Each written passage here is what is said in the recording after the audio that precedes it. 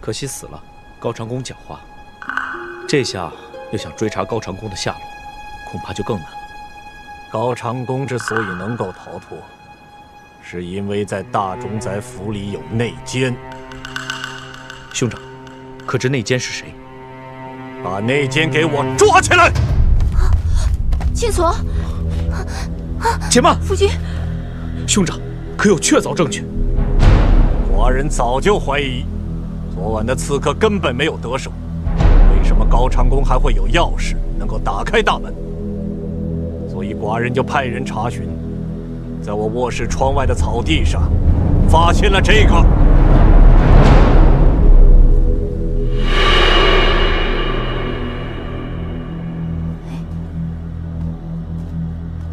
哟，这不是青锁妹妹衣服上的丝线吗？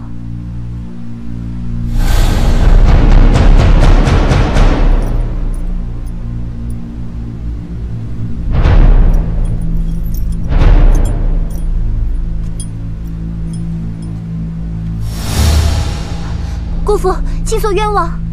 寡人猜想，是不是在那刺客来之前，已经有人进过我的房间了？果然不错。夫君，是我请青锁到房间里聊天的。你们是从窗户进去的吗？大冢仔，请不要责怪姑母。我青锁昨夜一直和小弟在一起，我想是有凑巧。也许是青锁在跟嫂夫人进入房间话家常的时候，有丝线掉落，被风吹到草丛，也无不可。大司空，我知道你对青锁妹妹很好，可这事关军国大事，你可不能。请兄长明察。昨日深夜，小弟还与青锁在园子里看星星。哦，当时巡逻的侍卫也看见了。小弟微醉，是青锁将小弟送回了客房。后来听到有响声。青锁担心兄长和嫂夫人的安全，才冲了出去，被刺客挟持。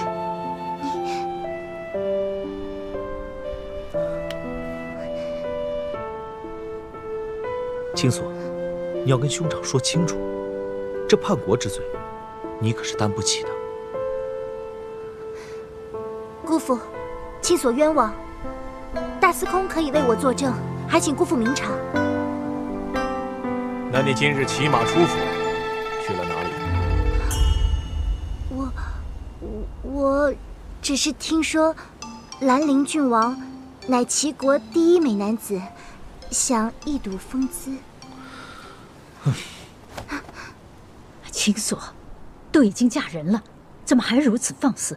不知道收敛点好，就算这两件事四弟替你解围，还有一件事，你要给我解释清楚。姑父尽管问。青锁，知无不言，言无不尽。你回府禀报，高长恭要袭击大冢宰府，找我派人保护大冢宰府。这调虎离山之计，好让高长恭趁机袭击是喽。青锁冤枉，青锁从没想过要背叛大冢宰府。我只是听到他们这么计划，我拼了性命磨开绳索，偷了一匹马逃出来，好给府里报信。或许。是那齐国人故意说给我听，他们知道我听了以后一定会赶来报信。啊，我说为什么我逃跑的时候齐国人都没有来追我呢？原来是这样，你可知道撒谎的下场？我知道。兄长，青锁一介女流，是非不辨，中了敌人的圈套，也未必可知。小弟想，以青锁女流之辈，怎么会那么轻易的就从狼窝里逃出来？分明是高长恭想借青锁的口，将假消息传递给兄长。青锁不明所以，才中了计策，还以为是在替兄长出力。看来青锁的退路，四弟已经安排好了。呃，小弟不敢，只是就事论事。如果兄长还有疑虑，尽可把青锁关押审问，小弟毫无怨言。是啊，大冢仔，这里面疑点重重，是该向青锁妹妹问个清楚。我冤枉，还请姑父明察。来人！夫君，不要押下去。啊！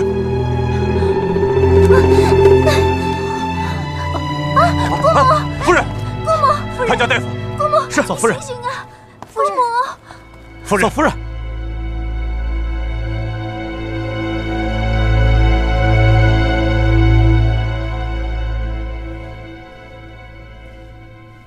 回禀大仲裁，夫人脉象环而实指，只有定数，是为惊吓所致。惊吓？对，夫人平日体质便虚弱，一时惊吓难免昏厥。小人开个方子，多吃几副药吧。小人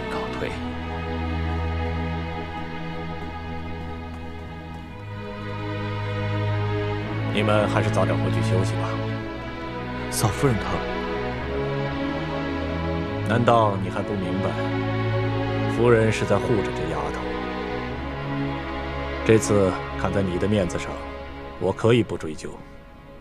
从今以后，你要好好管教这丫头，再出什么差错，唯你是问。是，小弟明白。姑父，我想留下来照顾姑母。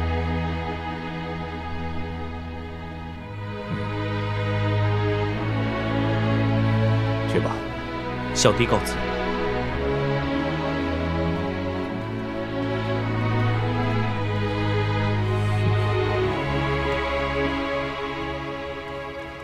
今天可真是心惊肉跳，再多等一会儿，只怕我也会像嫂夫人一样晕倒了。阿庸，喝茶。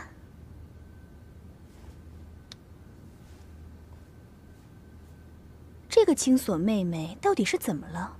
她跟齐国真的没有关系吗？怎么会有那么多巧合啊？谁知道，整天就知道给我惹麻烦。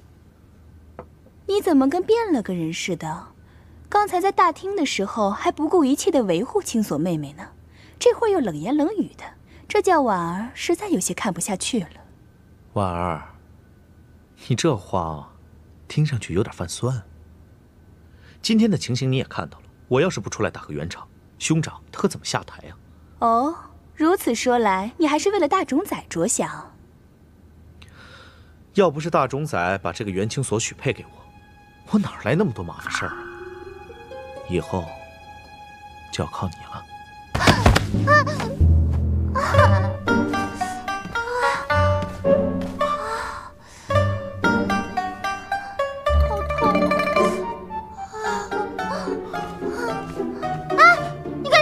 别动！啊啊！你你放我下来！你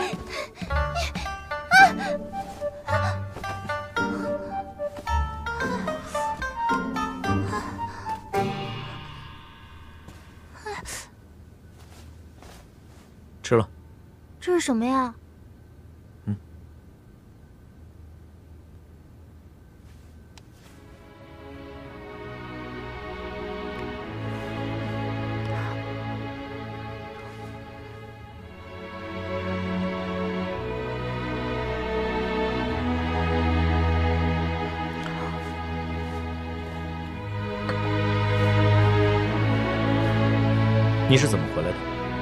是骑马回来的。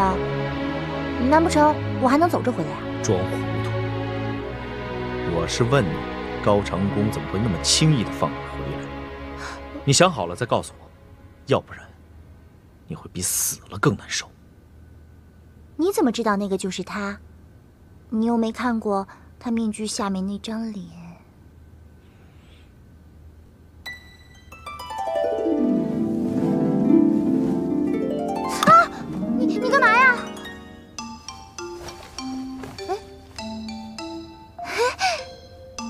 没想到你竟然还会治伤啊！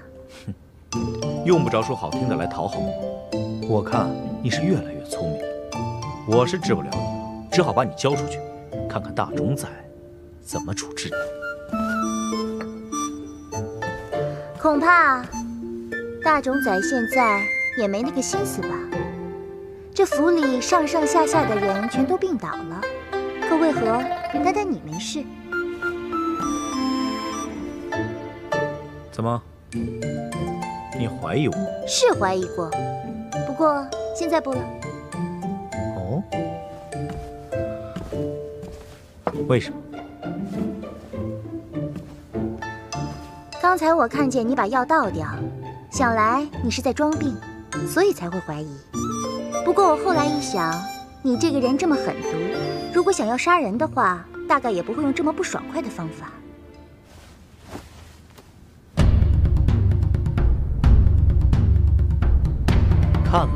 高长恭还真是颇有魅力。怎么？人回来了，脸色红润不说，人也肆无忌惮起来了。你说这高长恭是给你吃了什么毒药，叫你胆敢如此趾高气昂？你瞎说！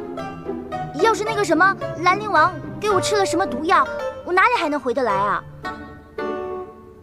你快说！你可知道大冢仔的救急是什么？还有夫人，她到底得了什么病？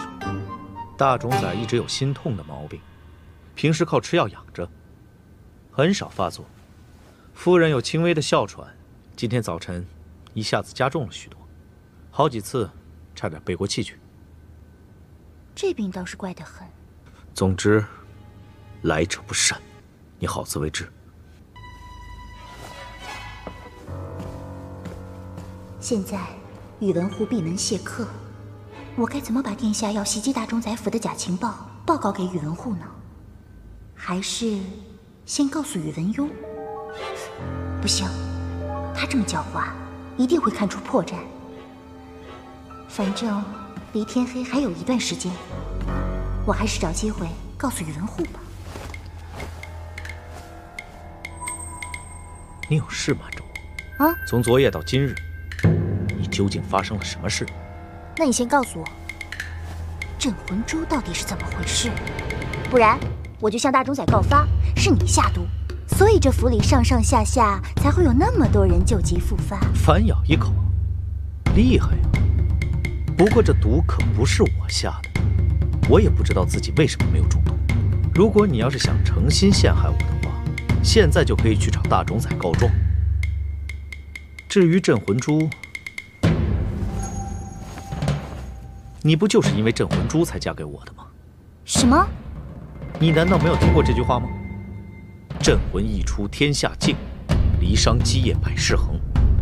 得到镇魂珠，就可以拥有一统天下的机会。这么重要的东西，谁不想得到？几个月前，坊间突然传说镇魂珠重现人世，就在大司空府。嫁给我，进入大司空府，不正是拿到镇魂珠最好的方法吗？天下，这天下跟我有什么关系？再说了，我为何会为了那不着边的天下，嫁给你这种人？说的跟真的一样。那你还记得你从前是怎么想的吗？这，我宇文邕从来没听说过嫂夫人还有个侄女，你出现的太突然了，我怀疑你。八成是齐国派来的细作。我随你怎么想。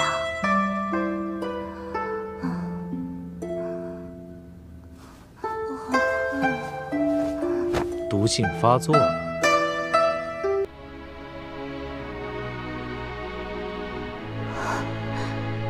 可惜，我竟不能救你。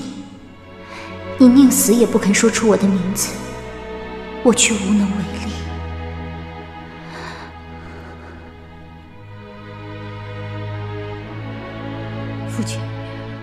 父亲，求你放过青锁，放过青锁，放过青锁，青锁，青锁，姑母，我在这儿，我在这儿，青锁，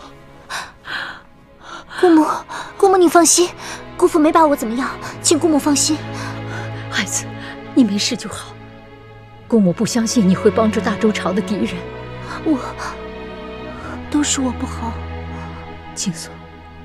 你是我唯一的亲人，你不能再出事了。你要好好陪在姑母身边。姑母，姑母，对不起，对不起，都是我不好。没事，没事。姑母，好了，孩子。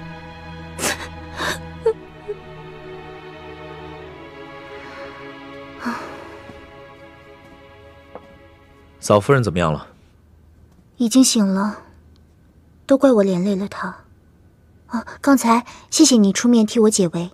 你只是连累了他，你连累了所有人，你好大的胆子！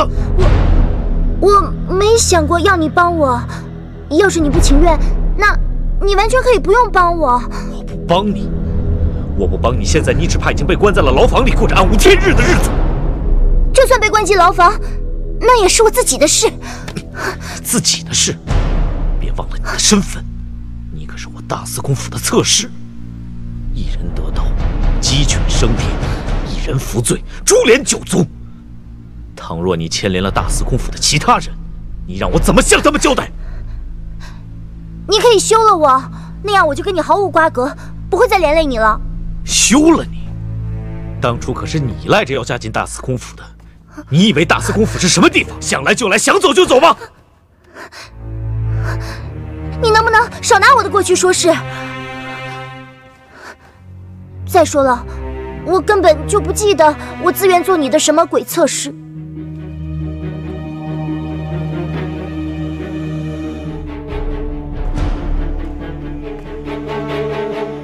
谁能想到，这么柔弱的一个人，拥有一张……这么让人心生怜意的脸，却能做出这么无法无天的事。你知道通敌叛国是个什么罪名？我累了，没有心思与你争论。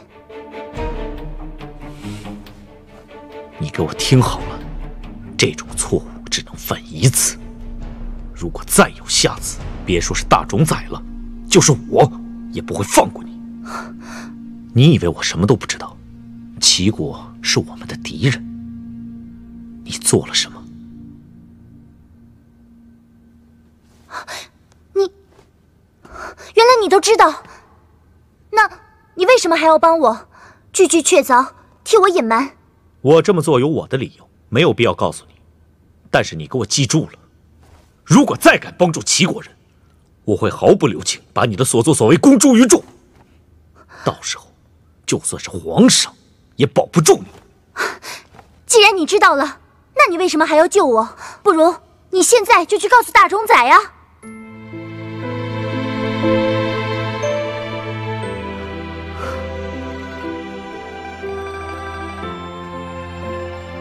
你个袁青锁，你就是这么报答你的救命恩人的？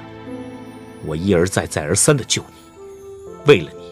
我连权倾朝野的大冢宰都得罪了，换来的却只有你这么一句话。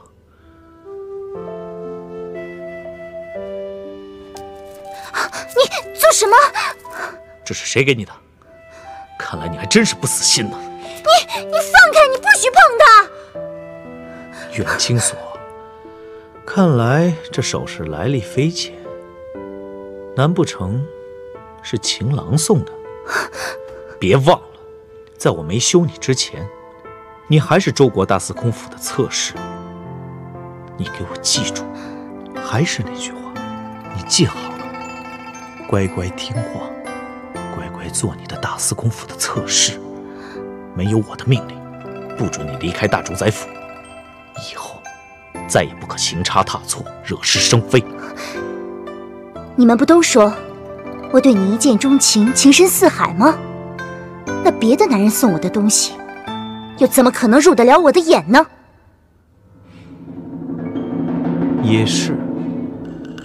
那既然不是情郎送的，留在身上也没有意义，便交给本司空来。这是我最值钱的东西，我凭什么给你啊？人都是我的，何况区区首饰？你堂堂的一个大司空，难道缺少宝贝吗？你凭什么跟我抢？你的东西数都数不清的，你何苦跟我抢呢？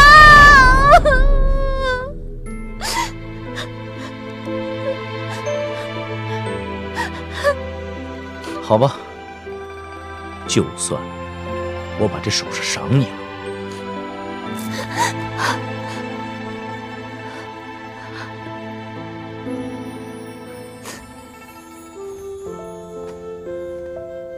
袁青锁啊袁青锁。你可不知道这件事给了宇文护多大打击。不过你也是越来越让人看不透了。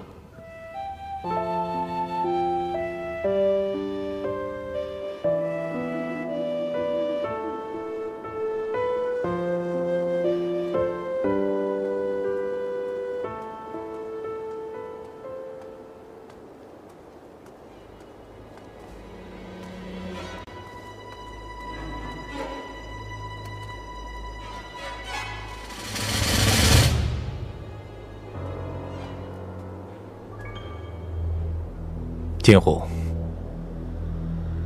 你觉得夫人是去做什么？这个，卑职不敢妄加揣测。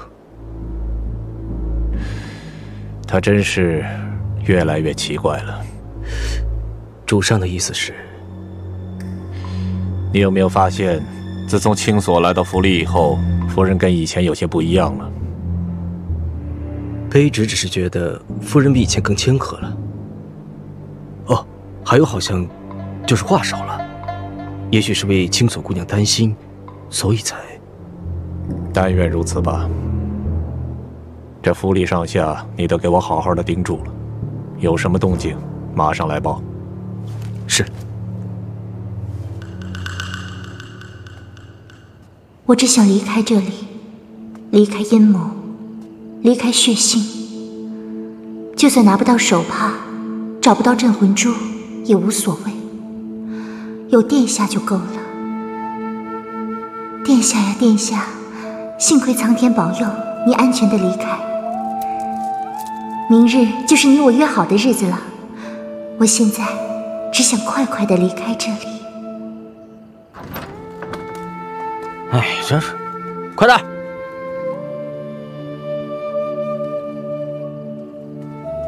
就这几天的时间。就算日夜赶工，也来不及把东阁完全改成玉虚观呢。你就尽力吧。道长对咱们大冢宰府有恩，大冢宰只是叫咱们把东阁按照玉虚观的样子改成无尘阁，没叫咱们两天修建一座无尘观给道长就知足了。哎，那这么说，这道长真要留在咱们大冢宰府了？哎，关门。无尘阁都修好了，你说呢？当然是留下了。啊。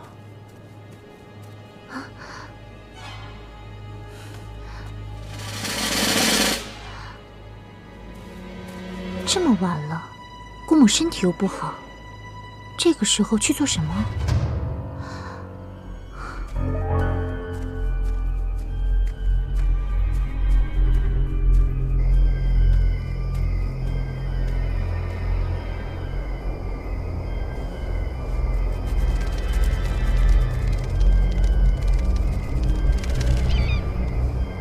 小雕啊，小雕，你终于回来了。你知道没有你的日子，我有多想你吗？走，咱们回家了。我们回家喽。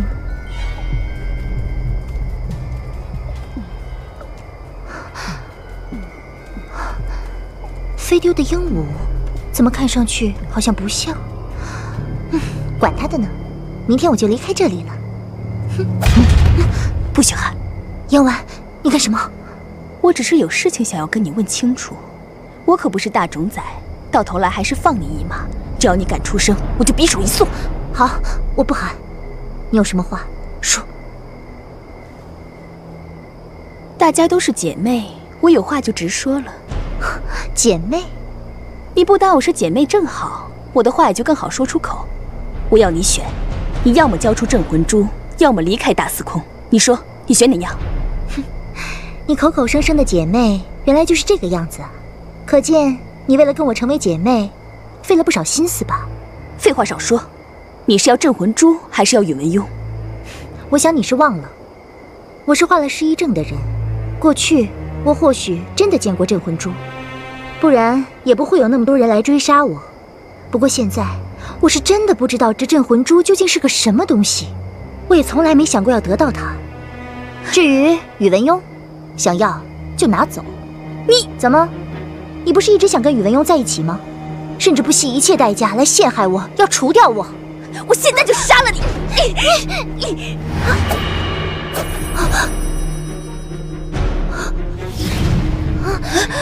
哎！我我我还没有伤到你呢，你就做出这副样子，难不成是想恶人先告状？我的头，头好痛！你你不要吓我！你以为这样我就会放过你吗？哎，你醒醒啊！喂，袁清锁，你给我醒醒！你别装了，醒醒啊！醒醒！夫君，都这么晚了，还出去？啊，我刚听到鹦鹉叫，以为是小雕回来了，就出去找。结果还真是小雕呢。哎，夫君，你看，女人就是女人，你跟了我这么多年，怎么心思还花在这些东西上？夫君说的极是，妾身无能，不能为夫君分忧解劳。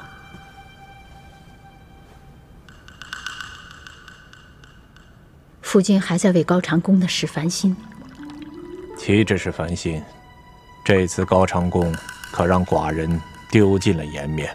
夫君威震朝纲，一次小小的失意，那些大臣们不敢说东道西的。倒是皇上，皇上就跟先帝一样，忘记了是谁把他们捧上去的。想要肆意妄为，也要看看自己的实力。我倒觉得，事情没那么简单。大冢在府里一定有细作。那夫君打算怎么处置青锁？不会杀了他吧？妇人之见，你忘了当初送他进大司空府的目的了吗？那夫君的意思是？现在有个人是越来越琢磨不透了。夫君是指四弟？嗯，他放着当今的皇上不去讨好，反而整天窝在我的大冢宰府。尤其是今天，你看他情真意切为青锁求情的样子，不知道的人还真以为他跟青锁情深意长呢。可是青锁和四弟感情不是很好吗？他们只是在人前做做样子。四弟今日看似为青锁求情，实际上是为了给我一个台阶下。我本来还想让你看紧青锁。现在看来，四弟一个人就够了。夫君就这么相信四弟？信不信，就看你怎么做。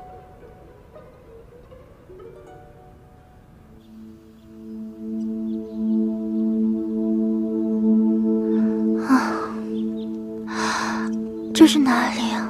我怎么会在这儿啊？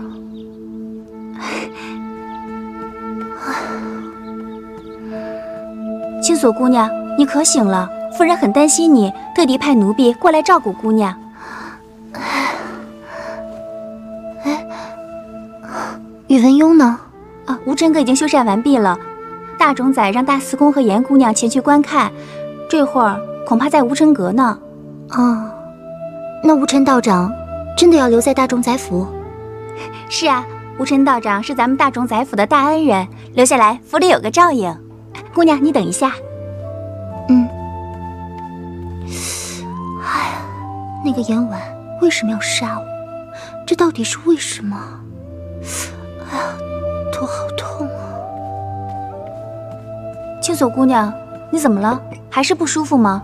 要不要叫大夫过来诊治一下？啊，呃，我没事没事。呃，对了，姑母她现在怎么样了？夫人已经好多了。鸳鸯一早就熬了粥。特地给青锁姑娘也端了一份，谢谢。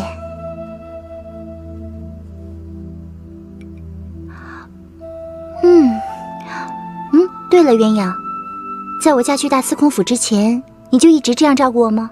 是，一直都是鸳鸯在伺候姑娘。那从前的我是什么样的？我是两个月前才见到姑娘的，那时候姑娘比现在稍显瘦弱，心情也不那么好。心情，哼，那有现在糟吗？以奴婢看，现在姑娘心情好得很，一点都不像晕倒的病人。我要早知道晕倒之后只能吃粥，我就不晕倒了。鸳鸯，你也知道我患了失忆症，那你可否给我讲讲以前的事情，我的事情？嗯，您是夫人的亲侄女。一直由夫人雇人在乡下抚养着，后来乡下水灾，夫人才把姑娘接到府上来。再后来，姑娘与大司空一见钟情，便由皇上指婚，嫁入了大司空府。那然后呢？姑娘平时不喜欢跟奴婢这些下人们讲话，却喜欢待在马厩里。马厩？是啊，夫人责备过姑娘好几次呢，可姑娘还是悄悄去马厩，把自己的点心也带过去给马儿吃。哦，还有，姑娘有张帕子，上面绣着两只萤火虫的，天天不离手，一直戴在身上。那那，你可知道我告诉你那块帕子的来历了吗？哎，还有那上面除了萤火虫还绣什么了吗？嗯，好像还绣着一朵花吧，鸳鸯也记不太清楚了。那帕子姑娘珍贵的很，从来没让奴婢们碰。那花长什么样子？奴婢只记得那花的样子有些特别，其他的就记不清楚了。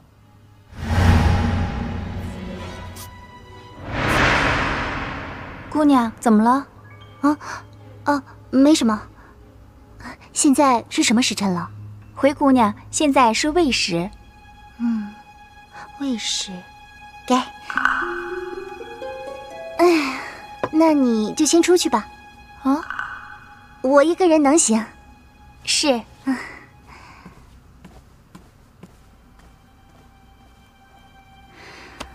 唉，可恨的宇文邕竟然将帕子藏起来了。罢了，帕子不是很重要，重要的是我要想办法离开这里，然后再去与殿下会合。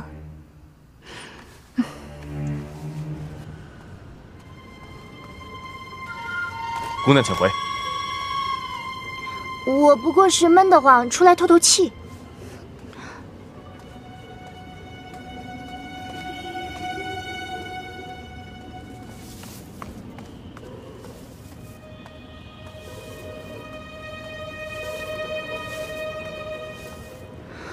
唉，出不去怎么办呢？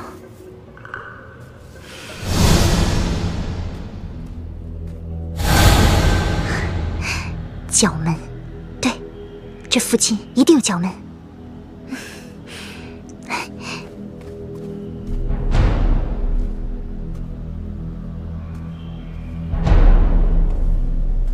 哎，原来香雾城那老道士是假扮的。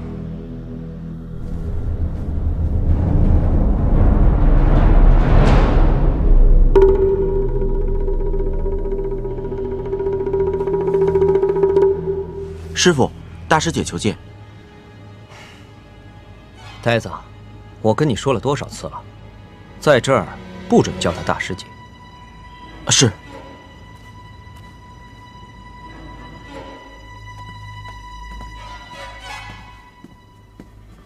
严婉拜见师傅。啊，原来他是香无尘的徒弟。嗯，起来吧。谢师傅。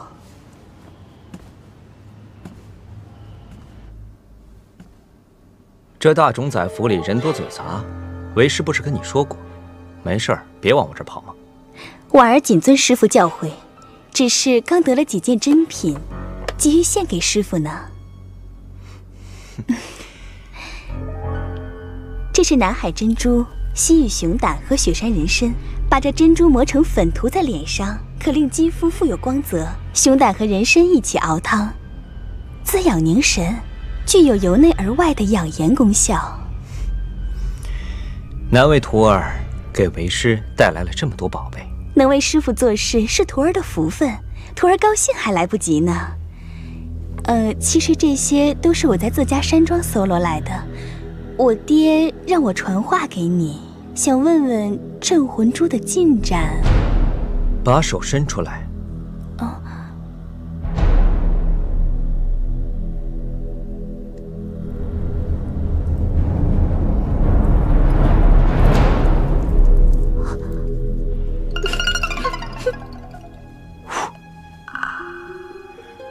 这珍珠粉你拿去外服内用，滋养容颜是最好不过。是是，师傅。哼，这个严婉也有被整到的时候，看他怎么办。哼。怎么了，婉儿？突然脸色怎么这么难看？难不成是责怪为师糟蹋了你的宝贝。师傅恕罪，婉儿不敢。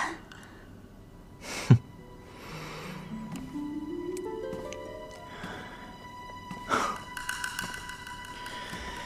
这镇魂珠的事情，为师自有分寸，以后不许再提。倒是你从你父亲那儿给我拿来这么多宝贝，又是为了什么呢？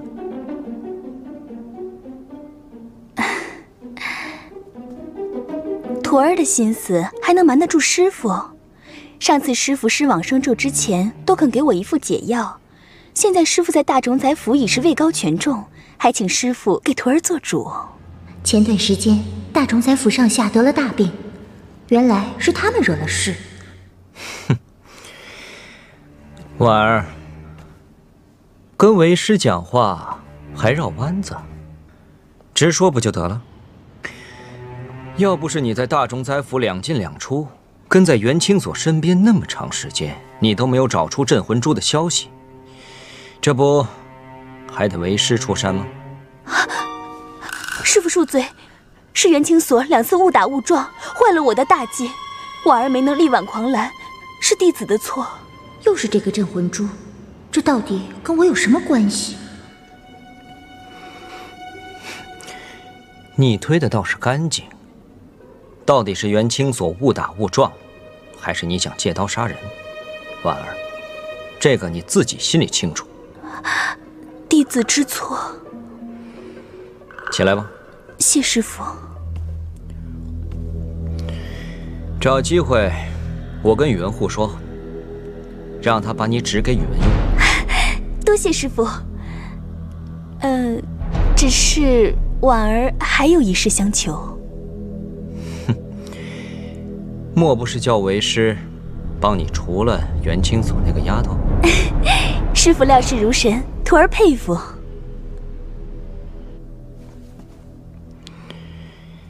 嗯，你呀，怎么就被一个“情”字迷住了眼睛呢？不过话说回来，这元清锁到底是真失忆，还是假失忆呢？弟子曾几度跟元清锁交锋，如果他的失忆是假的，以弟子的天分，绝对可以看出来。所以。弟子认为他的失忆恐怕是真的。人可以失忆，也可以找回记忆。师傅有了好办法。过两天，我便陪着宇文护给袁青锁下一副猛药，他得意不了多久了。搞不好，他还得付出生命的代价。多谢师傅。你陪我去皇宫看看吧。是。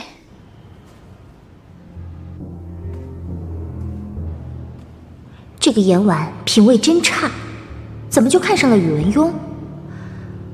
不过这道人说的，他跟宇文护要给我下的那副猛药是什么？嗯，总之不是什么好事。三十六计，走为上策。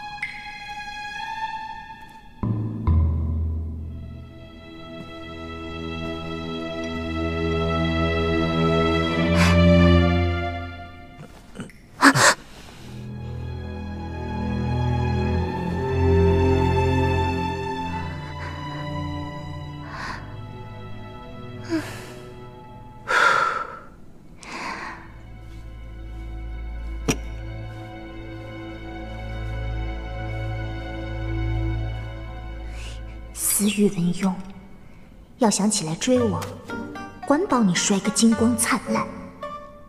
谁叫你不把帕子还我？哼你不告诉我，现在也无所谓啦。兰陵王马上就带着本姑娘离开这个鬼地方了。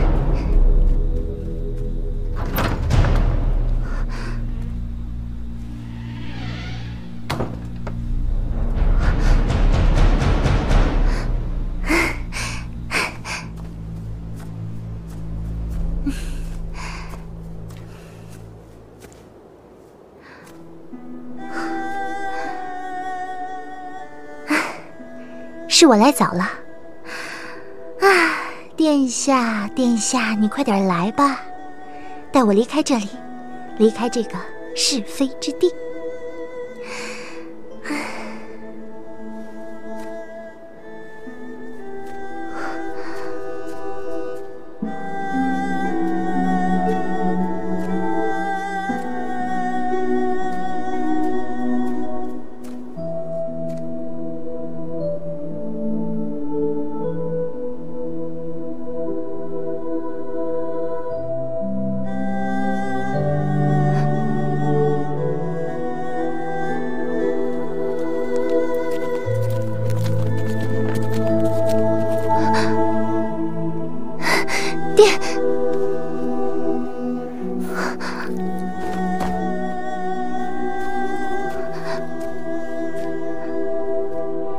该给我一个解释了吧？你想听什么？我想听你说，为什么私自出府？为什么穿的花枝招展的苦守一夜？为什么看见我就露出这副表情？大司空，什么时候开始关心起我的行踪了？我在你眼里不是可有可无，让你避之不及的吗？我和你的关系。大家心知肚明。好，你倒说说看，你跟我是什么关系？我是宇文护送给你的女人，你怎么可能会真心接受？你怕我监视你，怕我有阴谋，怕我看穿你的野心。你表面上对我不错，可暗地里却放任严婉欺负我、伤害我。我根本就不是你大司空府的侧室，我只是你的诱饵，是你的敌人。宇文邕，你要是不喜欢就别要，何必平白浪费人家一生？那你说说看，我有什么野心？是怕被你看穿的？你自己心里清楚的很，现在反倒来问我。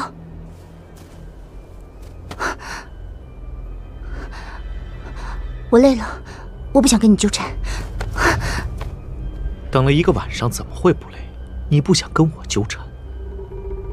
倒想跟你纠缠，我什么也没等，我等什么了？你到底想怎么样？我想怎么样？你说我想怎么样？你不是自以为很了解我吗？你你走开！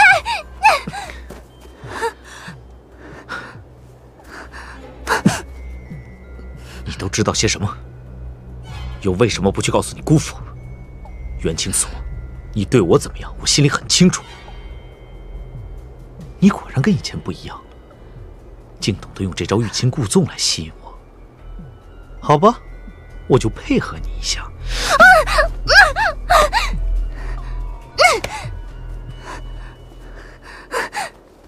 哼，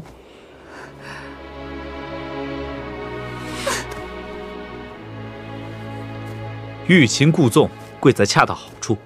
纵的多了，反而适得其反。你说什么欲擒故纵？我根本就没那心思想着怎么对付你。你以为你是大司空，所有人就得为你花心思讨好你吗？你未免也太自信了吧！你既然不喜欢我，既然这么讨厌我，为什么要还留我在身边？放我走吧，我答应你，我走了之后，绝对不会再回来。让你消失有很多种办法，可是现在不是时候。当我大司空府是什么地方？岂容你说来就来，说走就走？宇文邕，你别逼我！袁青锁，是你在逼我。如果你刚才不说那些激怒我的话，或许我还可以放你走。可是现在，除非我点头，否则你这辈子都别想离开大司空府。你放手！放手！我放了手，你等原本我还以为殿下会来带我走，哪知一夜之间得到的全是相反的答案，一切都成了噩梦。殿下，你可算回来了，情况怎么样？敌人大军已经到了边境五十里范围内，李将军按照吩咐已经调兵遣将，正在教场等候。长公，事不宜迟，需马上发兵。换马。备甲是。长公，洛云，来不及多说，我想让你派人帮我跑一趟长安城。长安城？对。我本来答应青锁，昨夜子时在长安城西大门等他，可我生命难违，所以我来不及告诉他，就返回了大齐。我在返回的路上，为了躲避关卡和宇文护的追杀，浪费了很多时间。洛云，我必须上阵杀敌，所以青锁姑娘，对，这次把兄弟们救出来，多亏了青锁姑娘。好，你放心，我一定会告知青锁姑娘。可是你已经耽误了和青锁姑娘相见的时间啊！青锁不在大冢宰府，就在大司空府。只求能找人见到青锁，替我告诉他，我并非不守承诺，实在是情势所迫。等我处理完战事，我立刻回去接他。嗯。洛云，你要还当我是你表兄的话，就不要去。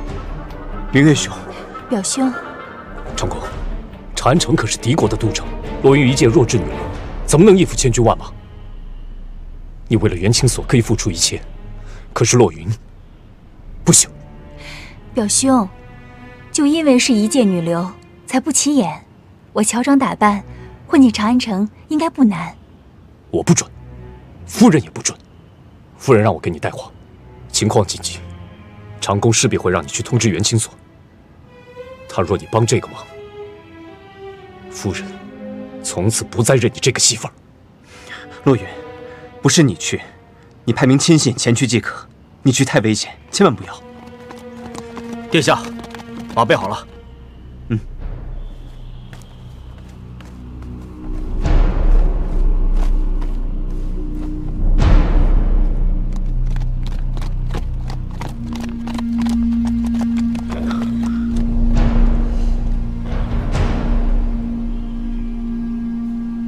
这。云姑娘，风儿。帮我准备一匹快马，云姑娘，你要去哪儿？长安城。长安城，大将军不是说不让您去吗？殿下也只是说请您派人去，您自己去太危险了。凤儿，没有多少人认识青锁姑娘，为了长宫，再危险我也要去。我一定要尽快找到青锁姑娘，我不能让长宫分心。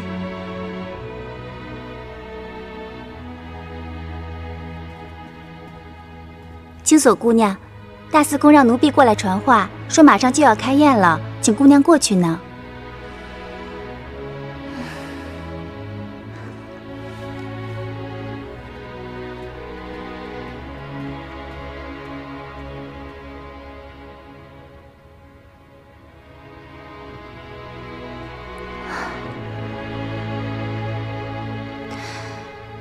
袁清锁呀，袁清锁，你怎么？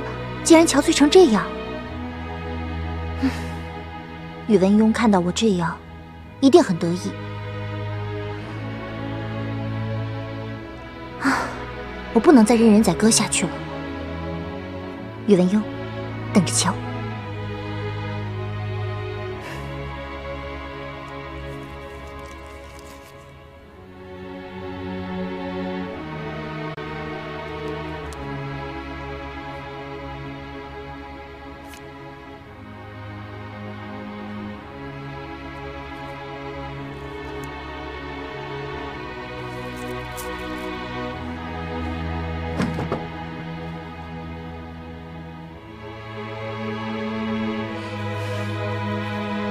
寡人已经上报皇上，封道长为护国法师，圣旨不日可到。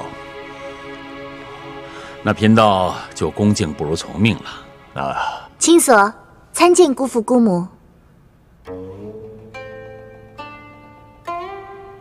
青锁来迟了，虽然这事出有因，还望道长见谅。为贺道长无尘阁竣工，青锁特意备了一份薄礼。不知合不合道长心意？哦，其万物兮超自得，唯性命兮任去留。好字，确实是好字啊！道长云游四海，视野和心胸，自然是旁人所比不得的。只有嵇康这类风流人物，道家真言才称得上。亲所着作，还望道长笑纳。姑娘的一番心意，贫道心领了。只是贫道老迈，哪及得上嵇康鹤立鸡群呢？啊！这俗话说：“丈夫为志，穷当益坚，老当益壮。”依青所看来，道长你还年轻的很呢。青锁姑娘果然是会说话呀。道长不嫌弃就好。好了好了，坐下来。是。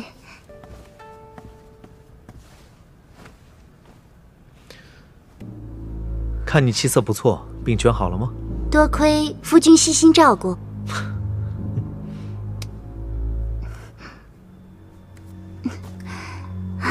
啊，对了，道长，我常听人说起，大司空面相不凡，必定不是凡夫俗子。确有此事。那么，敢问，这是怎么个不凡法？这。这 大司空天庭饱满，地阁方圆。其实小女子也懂一点点面相，这面相看起来好像是帝王之相，至贵之容。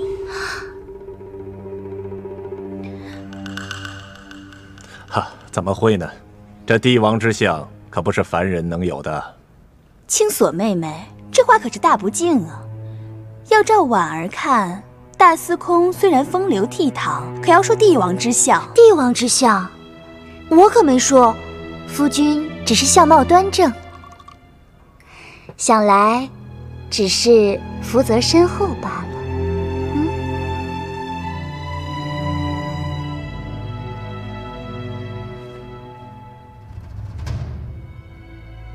你这侄女。可越发厉害了，让我管也不是，不管也不是，倒让道长看笑话了。贫道也不是外人，只是青锁姑娘，你双目含情，长着一双桃花眼。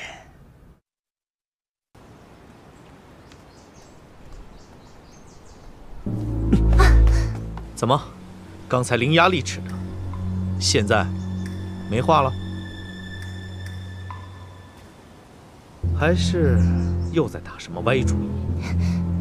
好一句帝王之相，至尊至贵，你以为凭你几句话就能影响我安危吗？有没有人说过，你确实长了一张俊美非常的脸？不过，这么一张俊俏的脸背后，却藏着一颗肮脏的心。把话说清楚。的心怎么就脏了？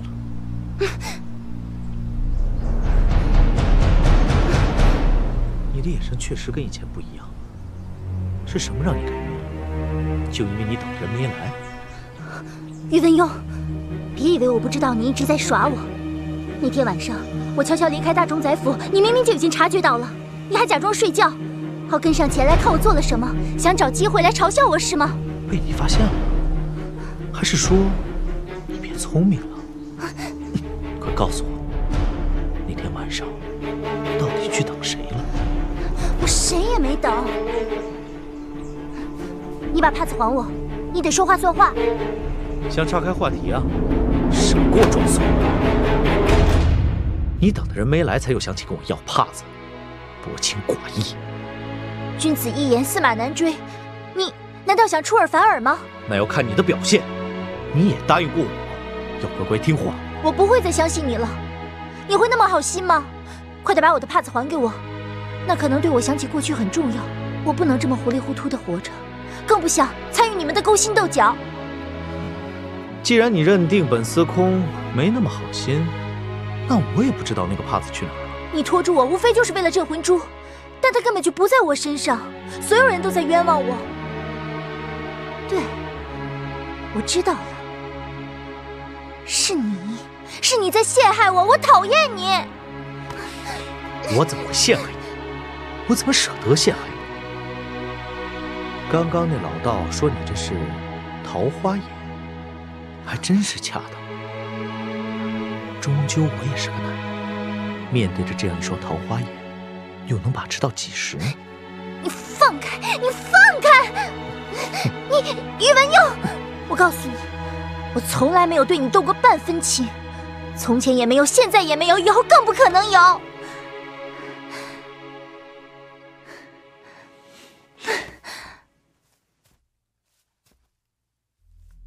你明知道我的一切行动，可你并没有告诉宇文护，为什么？因为你表面上虚与委蛇，实际上你跟宇文护根本就不是一条心。我今天所做的一切，无非是想告诉你，我知道宇文护一直在提防什么，也知道你在掩饰什么，他随时可能会对你起疑心，就像你随时可能下手把他除掉一样。你在威胁我？哈哈哈！真是笑话，别瞎想了。在我的眼里，你只是诱饵。诱饵的使命就是哪怕牺牲自己，也要完成主人的任务。诱饵永远威胁不到主人。松口！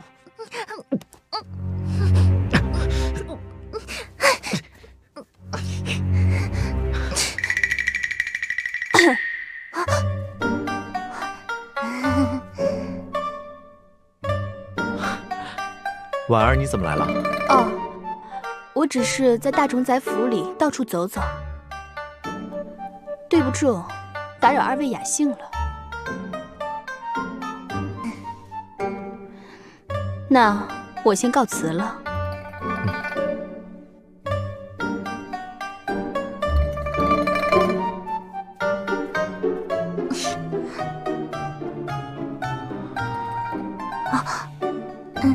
你你这里没事吧？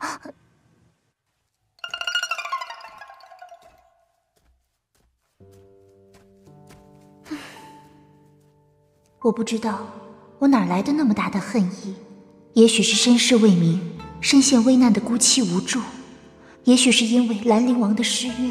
总之，我将这股仇恨全部宣泄在了宇文邕的身上。下一步我该怎么办？现在至少已经警告了宇文邕。搅动了这潭水。接下来，我应该到哪里去寻找我的身世呢？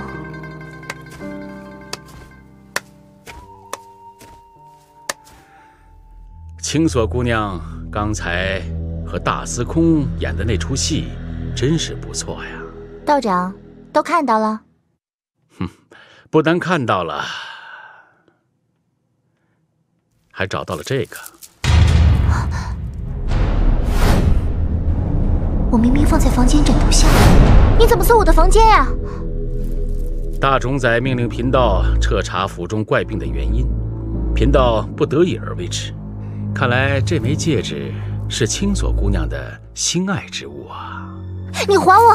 嘿，姑娘，我还你可以，但是要回答我一个问题：镇魂珠在哪里？镇魂珠？大家都知道，在新婚之夜，青锁姑娘出了点意外，失去了记忆。可是，即便如此，我也还想请青锁姑娘好好想一想，镇魂珠到底在哪里？你认为我的失忆是假装的？哼，假装不假装，贫道不知道。不过贫道知道，即便是失忆之人，在万分危急的时刻，也总会想起过去的事情。你想干什么？明人面前不说暗话，贫道只想要镇魂珠。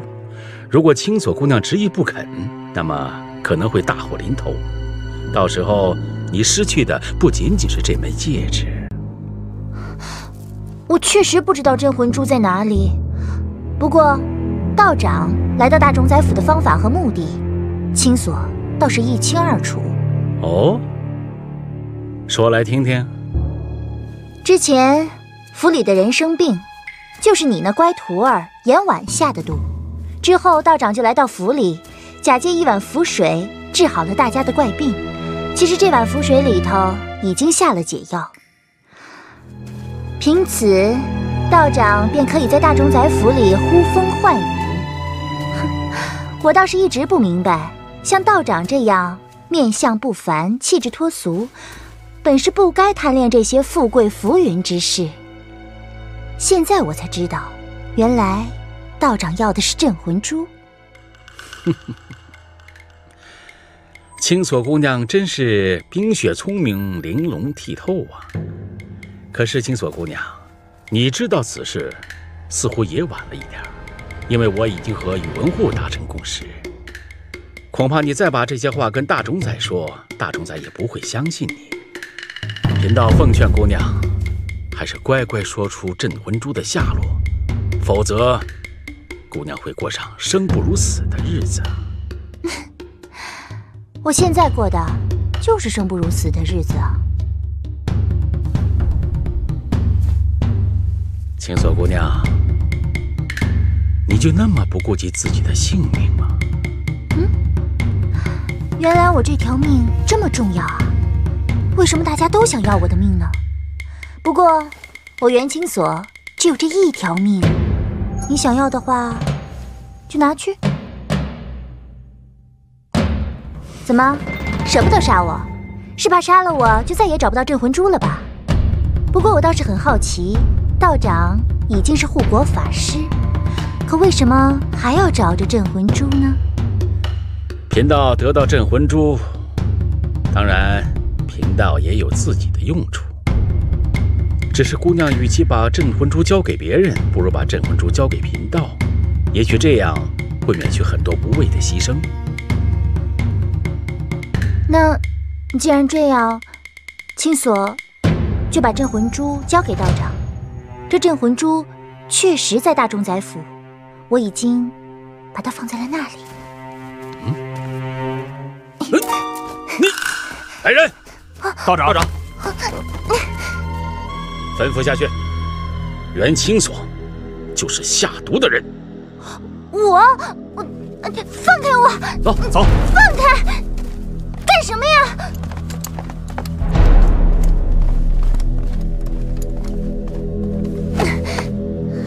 你，大冢仔，你看看这枚戒指，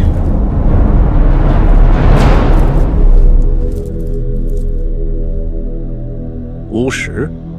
不过是一枚普通戒指，这确实是一枚普通的戒指，只不过贫道在这戒指上发现了毒药粉的残渣。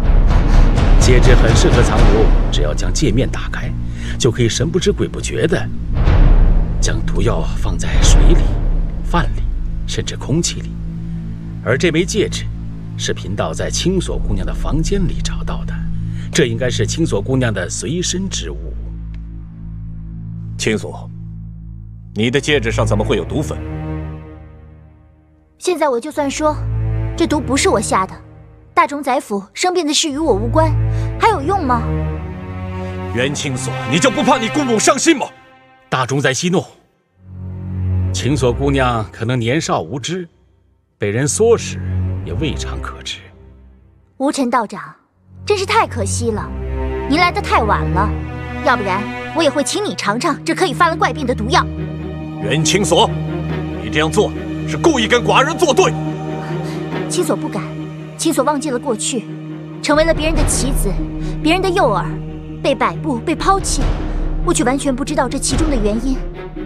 与其这么活着，还不如成全了道长。来人，把这个不知天高地厚的丫头给我押下去。姑父，谢谢你。走，走。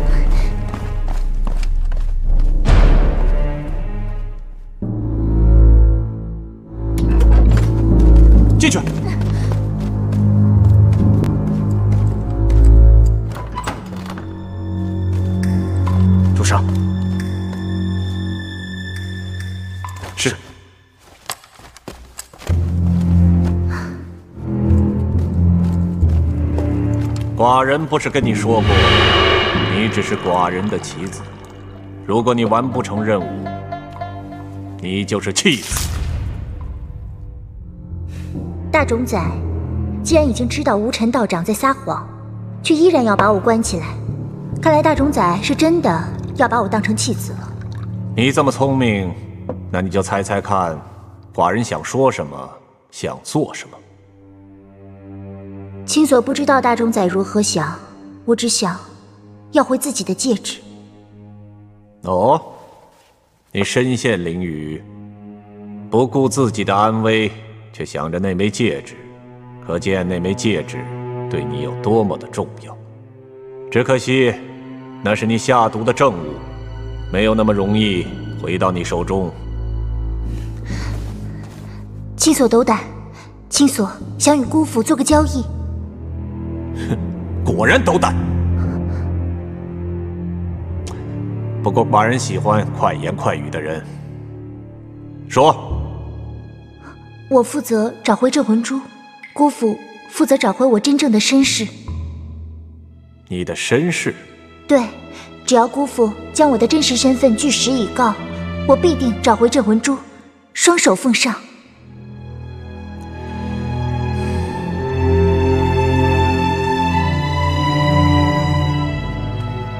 你根本不分辨毒不是你下的，故意让我把你抓进牢房。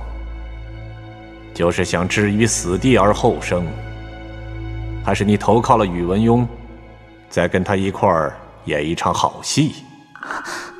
我的命都已经是你的了，难道你还怕我逃跑了不成？好，寡人就把知道的都告诉你，看你有什么本事找出镇魂珠。你是两个月前来到大冢宰府的。两个月前？对。夫人说。你是他寄养在乡下的侄女。那如果这么说，姑父对姑母说的话也并不十分相信了。相不相信又有什么关系？你是我的棋子，跟其他的人一样，没有区别。果然是大名鼎鼎的大冢仔，心机深厚。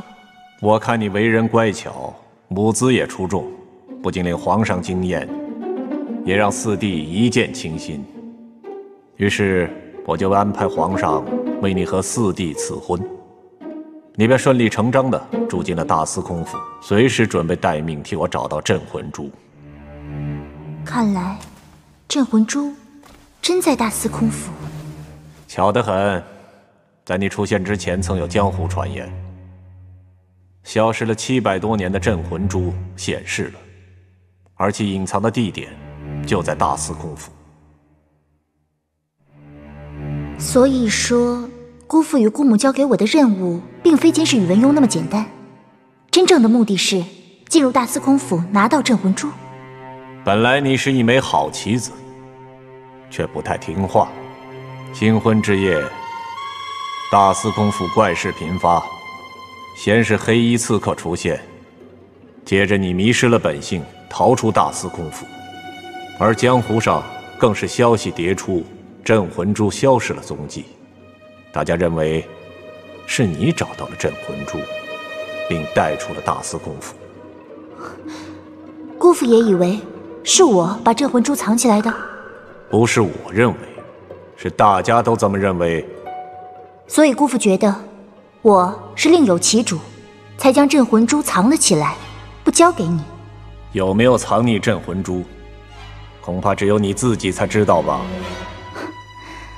我对镇魂珠毫无兴趣，更何况自我失忆以后，也只有你对我说过，当我是棋子，你要利用我拿到镇魂珠，在之后无人来找过我。寡人已将你的身世全盘告知。至于镇魂珠究竟在哪里，你还是好好想想吧。可是，我还是没能把以前的事情想起来。不急，你还有不到一天的时间，去想镇魂珠究竟在哪里。行刑是明天的午时。行刑？对。斩首示众。如果你想不起来，就逃不过弃子的命运。不是我不救你，是寡人从来不留没用的人。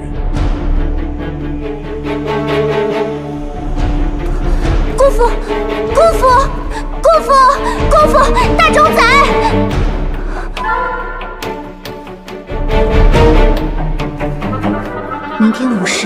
时就要行刑，我到底该怎么办？宇文邕他会救我吗？兰陵王，只要我能出去，我第一个就要去找殿下问个清楚，为什么失约？可我还能出去吗？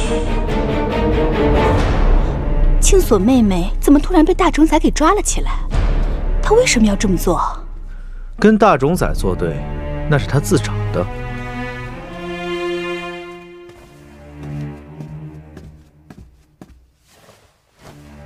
听说青锁妹妹被压在密牢里，你说她会不会有性命之忧？反正也是大冢仔送给我的女人，大冢仔想让她死，难道我还会去拦着吗？我可不想自找麻烦。阿庸，你真这么想的吗？你这么聪明，明哲保身。总不会不懂吧？都什么时候了，还明哲保身啊？你也得想想办法救救青锁妹妹，毕竟你们也是夫妻一场啊。夫妻，对我来说，她只不过是个女人，跟其他女人没什么区别。阿庸，婉儿，你真善良。要想你想，我可没空。阿庸。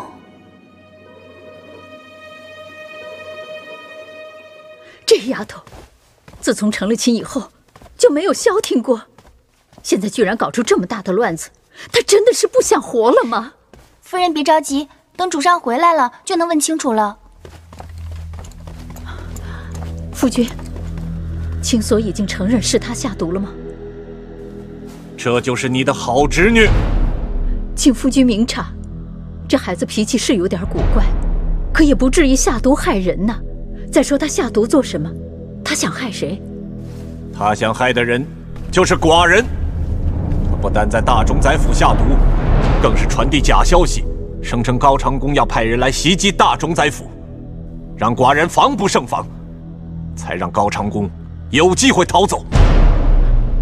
可是，那也许是青所担心夫君的安全，才中了齐国的算计。妾身以为。这件事可不像看上去那么简单。再说，青锁是皇上金口玉言许配给大司空的，这件事可大可小。一定是有人故意设的局，拉青锁做陪葬，目的是要陷害夫君于不义啊！不必多说了。武臣道长已经从袁青锁的身上找到了下毒的证据，袁青锁自己也供认不讳。寡人已经下令，明日午时。将袁青锁问斩！啊，夫君，夫君，怕是其中有冤情，我求你，求夫君下令延迟行刑。我去找青锁问清楚，看其中是否有蹊跷。令下，无悔。夫君，夫君，来啊！青锁是我的侄女啊！送回房去。是，请你看在我的份上去查明吧。夫人，夫人，她是我的侄女，求你了，夫君，夫君，求你了。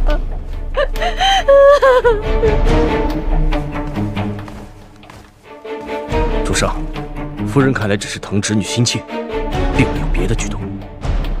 有没有异常动静？到了明天才知道。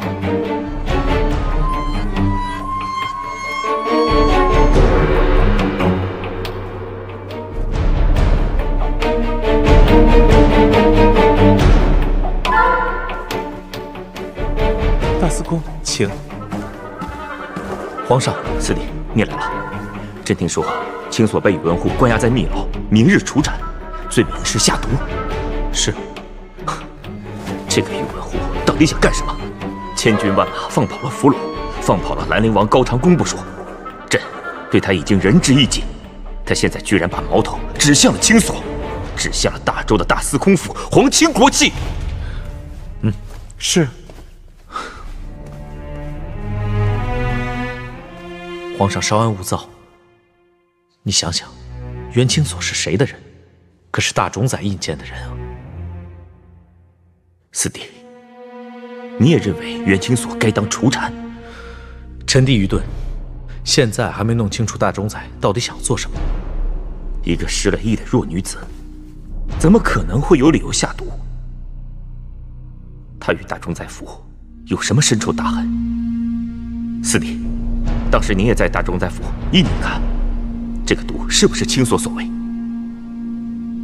皇上是想救他，宇文护无非是要对付你我兄弟。既然是你我兄弟的事，就不需要去伤害无辜。皇上，小不忍则乱大谋。朕连一个女子，朕的弟媳都保不住，还有何颜面去等这个皇上？能不能救他，那就只能看袁清锁的命了。皇上，答应臣弟，有所为，有所不为，江山为重。知我心者，四弟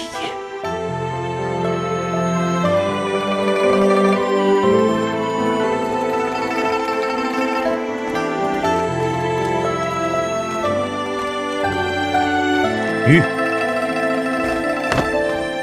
大司空。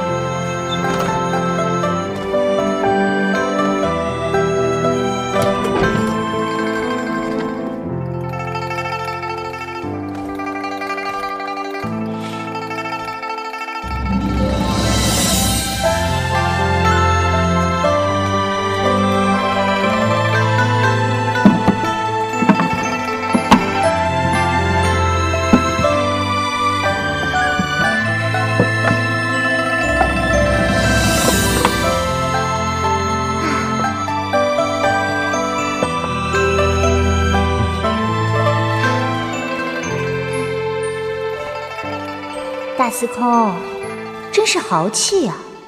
这么一大桌子的菜，嗯，一定花了不少银子吧？只可惜明天我就要死了，吃了也是浪费粮食。你就那么喜欢死吗？这一切不是正合你意吗？我要是死了，就再也没有人碍大司空的眼了。我看你是死性不改。俗话说得好，江山易改，秉性难移。我要是走了，大司空岂不是逍遥自在、无拘无束了吗？我也没想到这么快就能摆脱你。袁青锁，你听好了，你最好乖乖听大冢宰的话，否则就算你是我宇文邕的女人，我也救不了你。嗯，看来。大司空跟大冢宰还真是兄弟情深啊！不过这个菜可比大司空府厨子做的菜好吃多了。哼，女人嘛，我的府里多的是。如果你不是嫂夫人的侄女，我也不用来看你。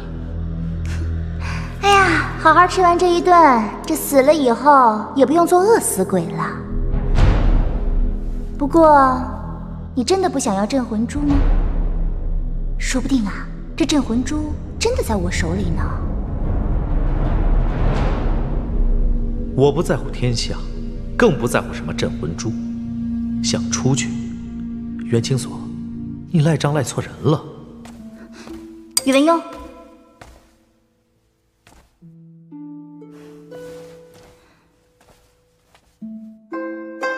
这一次或许我真的出不去了，所以以后你好好保重吧。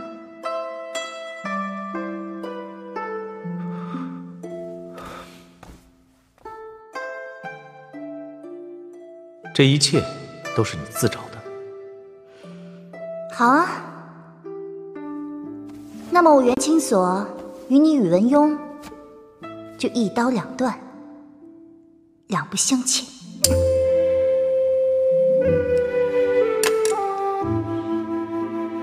袁青锁，你就那么想离开大司空府吗？甚至不惜一切？牢狱之灾，杀头之罪，这都是我自找的。但愿我不会带累你，所以从此以后，我与你无瓜无葛，恩怨消除吧。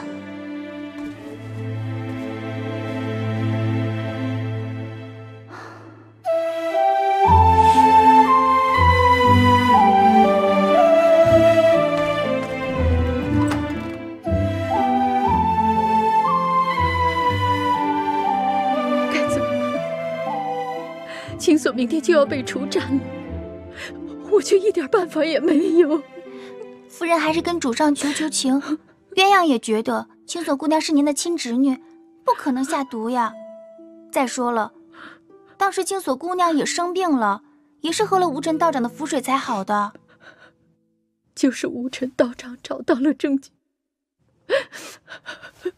可父亲对我避而不见，我该怎么办？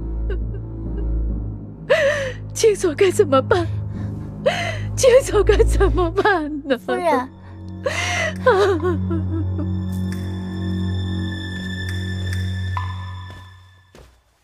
主上，夫人好像很伤心，在房里哭了一整夜，没有其他动静。一步房门都没出过，也没去看袁清锁。是的，一步门也没出过，连饭菜也是鸳鸯送进房里去。看样子，夫人是在等主上回去，好为青锁姑娘求情。嗯，宇文邕呢？大司空在见过青锁姑娘之后，就回到客房里看书了，没有任何动静。继续看着，直到明日行刑为止。主上真的要处斩青锁姑娘？她死不死，要看她的运气。运气好，把以前的事情想出来，找出镇魂珠交给寡人，他就不用死；否则，弃子无用。属下不明白为何要杀掉青锁姑娘。青锁姑娘虽然是失忆了，可是总会有一天想起来。如果杀了她，那所有的真相不就无人可知了吗？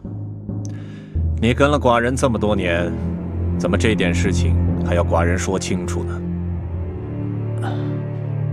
宇文玉、宇文邕，包括寡人的夫人，以及天下想得到镇魂珠的人，谁不将目光盯在袁青锁的身上？寡人明日要杀袁青锁，必定是天下大乱。寡人就是要用袁青锁的命，找出每个人的破绽。主上高明，原来主上使的是一箭四雕的好计。其一，看皇上对主上是否有举动；其二，看大司空对主上是否忠心；其三，对于夫人嘛，主上可以分辨出夫人最近的变化是否有意外之意；其四，把这趟水搅浑了，这样就可以趁机查出镇魂珠的下落。这样，袁清锁死的才有价值。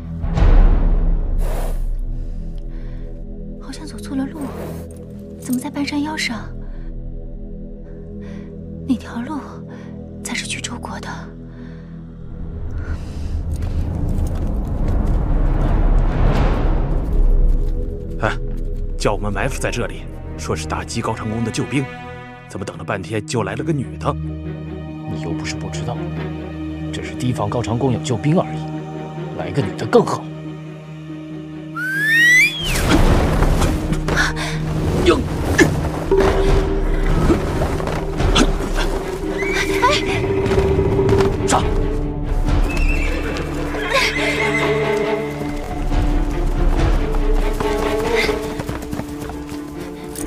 干嘛？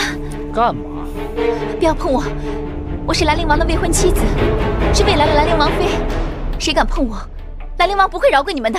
你是兰陵王的王妃，那我就是兰陵王。我没骗你，兰陵王不会饶过你们的。等等，我看这女人不是一般的女人，没准她说的是真的。先把她交给叶护。为什么？这女人我要了，她又逃不了。等叶护亲自审问清楚再给你也不迟。带走。不要碰我！放开我！放开我！你们放开我！放开！快！放开我！快走！快！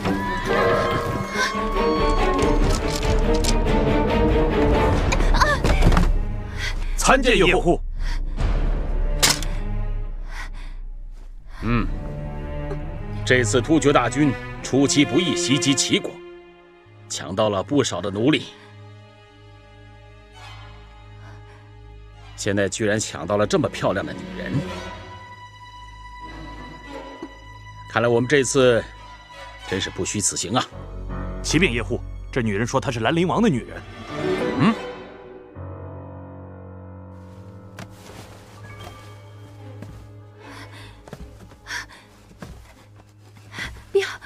不要碰我！我是兰陵王的准王妃，你敢动我，兰陵王一定会来找你的。兰陵王，你可知道说谎的下场？兰陵王会来救我的。哼，兰陵王，他若来便罢，他若不来，我会让你生不如死。撤！撤！撤！撤！撤！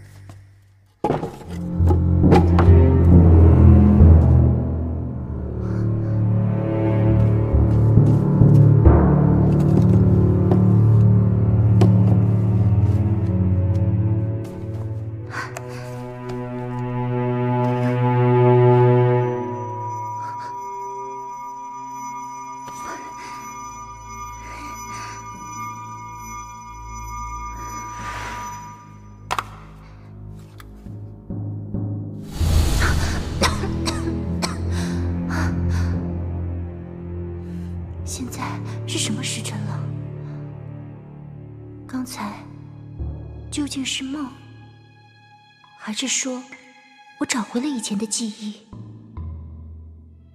那镇魂珠真的是被我偷走的？我当真是元清所吗？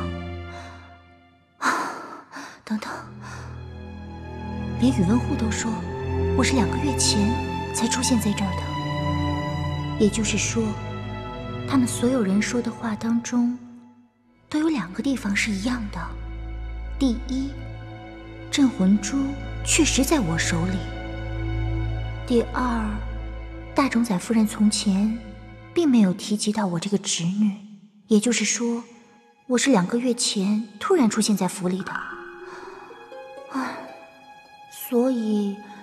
除了我是宇文护的棋子，奉命到大司空府去盗取镇魂珠这个身份之外，那我真正的身份又是什么呢？不，我不能这么死了。啊，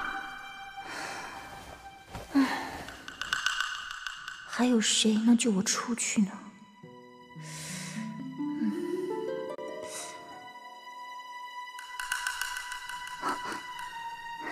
对了，颜婉。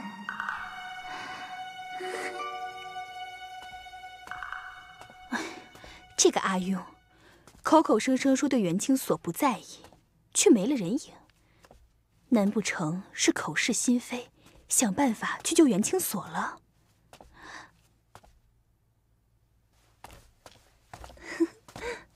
大司空，您看，那荷花多好看！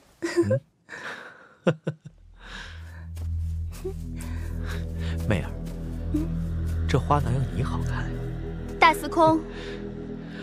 你来的正好，我与媚儿谈得正欢。参见严姑娘。既然是舞姬，就不应当留恋美景，自当勤奋练武，以期出人头地。怎么，姑娘是认为自己火候已经到了，不需要跟其他的舞姬一样了吗？奴婢不敢，我马上去秦家练习。奴婢告退。哎呀，聊得好好的，媚儿。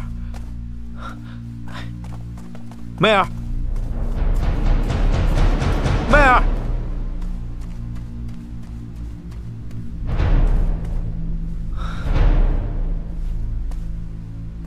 婉儿，你这是何苦呢？阿庸，我不是想扰你的雅兴，只是青锁妹妹午时就要被处斩了，要想个办法救她才行啊。是她自己承认下的毒，我有什么办法？大司空真这么薄情吗？婉儿，我宇文邕的情，只给值得的人。我倒要看看这次元青锁如何逃出升天。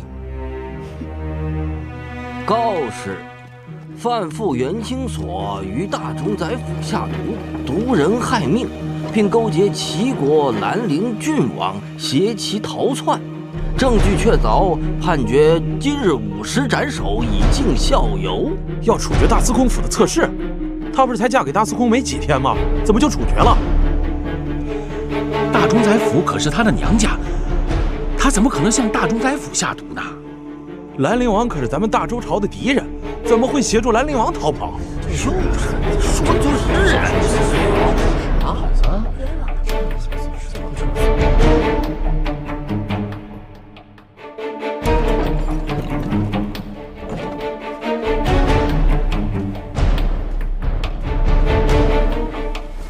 哟，我还以为妹妹在牢里吃不上喝不上呢，看来姐姐这番心意算是白费了。大司空送的，怎么，你羡慕啊？你喜欢就拿去啊。当我是什么？剩饭冷菜谁稀罕？那如果剩下来的是人呢？想必姐姐就不会不要了吧？你，姐姐是专门来看我的吗？当然，不然呢？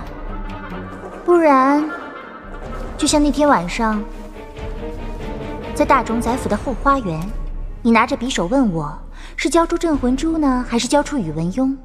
然后在我晕倒之后，假装好人把我送回了房。当时四下无人，就算我说给别人听，别人也不会相信。平时举止文雅的颜婉姑娘，竟然会做出这样的坏事。